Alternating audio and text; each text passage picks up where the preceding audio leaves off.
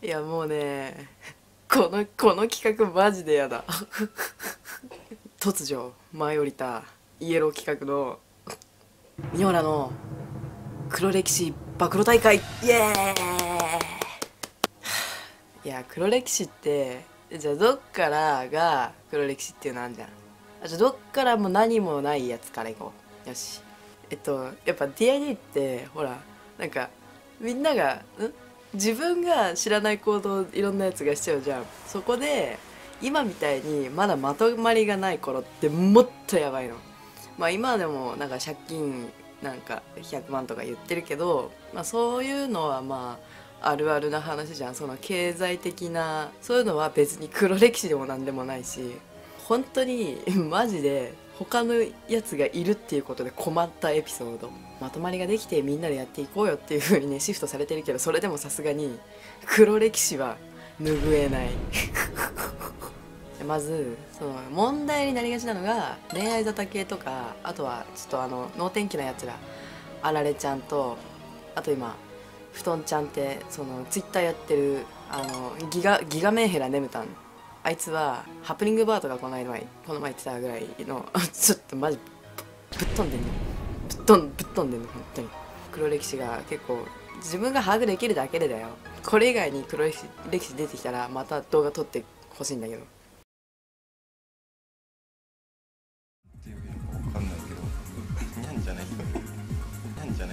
女子キャラの黒歴史。ででん。き昨日書かれてたなんかネムタンがチャラチャラしてるせいでストーカーが数名発生しててでもそれ多分もうそろおほとぼり冷めてるらしいし警察とかも行ってるから別にいいんだけどそれと勝手にうちの合鍵をまいてる。今さっきこのツイッターでなんかうちの合鍵持ってるやつリストとか言って なんかさらされてて。いや黒歴史ってよりなんか本当に困ったエピソードだよねこれ。えっ、ー、とじゃあミノラの黒歴史ででん。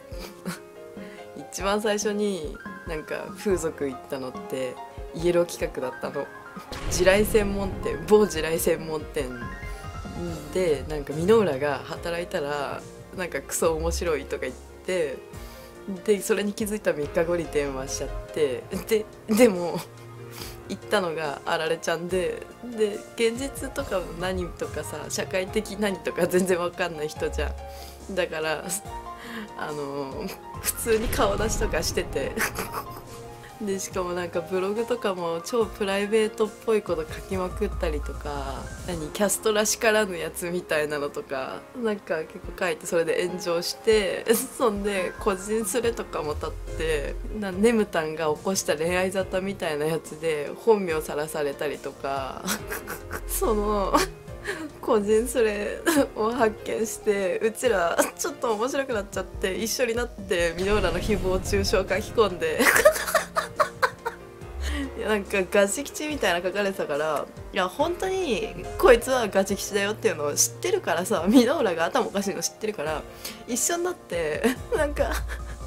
っていうのをやってる動画が今もうお蔵入りになっちゃって 落ちてるんだけど。でも本当ガチ吉とか以前に本当普通の障害者です。ミノーラって本名本名検索されるとすぐ分かるの。そのアナリティクスとか、まあ、そのウェブ関連は結構もう手入れ入手入れしてあってだからその本名検索が来るとちょっとブチギレるの。いやお前の知ってるミノーラが何なのっていう。だってしかもネムタンなんかさ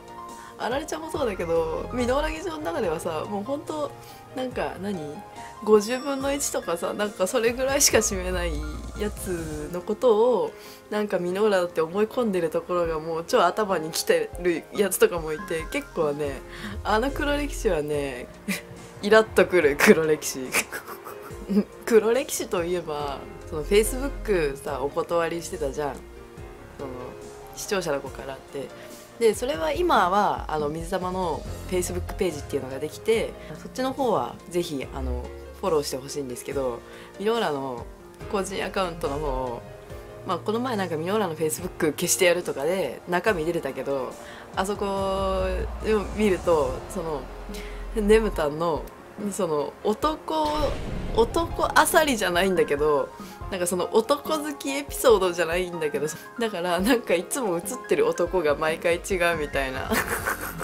その普通の人として見られてる中でなんかそういう30にもなってなんかチャラチャラしてるそのなんか痛い女みたいなアピールがめちゃくちゃされてて。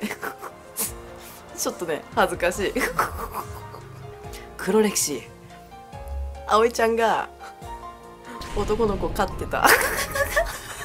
え違う？飼ってたとかじゃなくってなんか普通にお小遣いあげてた。うちなんかクソメンヘラだしそれでお世話してくれてるから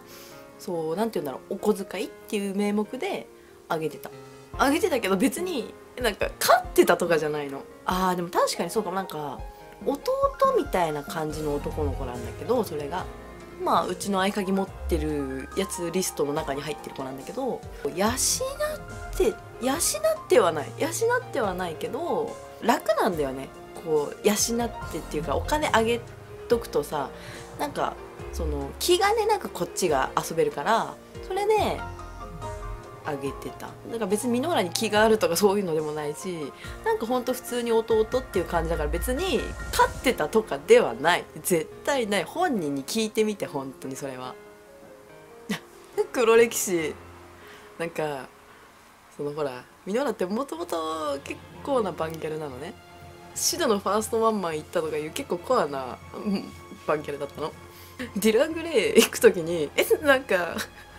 あの友達がナース2人ナースしてミノーラが白衣着るっていう。そのディラングレイだから今やってるか分かんないんだけどなんかエンジン組むやつがあるの。エンジン組むやつがあってなんかあのみんなメンバーの名前をこう言ってて気合入れをするのね。そこでなんか「カオルおい!」あったね。あーじゃあ学校での黒歴史保護組がその授業に出られないから逃げてるって言ってたんだけど一応サボるとかいう人が全然いないの。全然いないからそのミノーラがいないっていうだけで創作が出るの。授業中にその授業がない先生がこう校内とか周りを探し回るっていうのがあんの。でそれでミノーラは一応ほらこのセンサーついてんじゃん。そのキリスケタンってさいつも周りを警戒してる子がいるんだけどその子が大体稼働してるから別に大丈夫なんだけどなんかそうねなんか運悪くそのコンちゃんと超相性の悪い先生がいて保険の。でなんかそいつが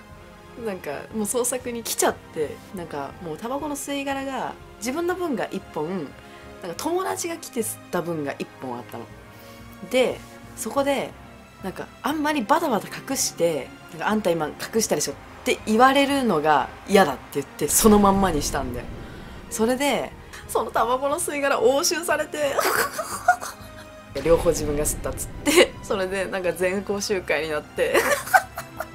いやーいや今は笑えるけどねあれねマジで実際笑えなかったよね。だからそんなヤンキーみたいなのいっぱいいればさ埋もれちゃうんだけどそういう学校じゃなかったからもうあれはもうマジで焦ったマジで焦った。なんかそんなこととかもありながら、まあ、無事卒業できたんだけどね。だからいいんだけどだから笑い話なんだけど。今思えばなんかどんな子がやったことでもまあ何かしら意味じゃないけど、まあ、眠たんは別だけど何かしらの対応に追われてそういう被害に被害っていうかうちらにとっての被害。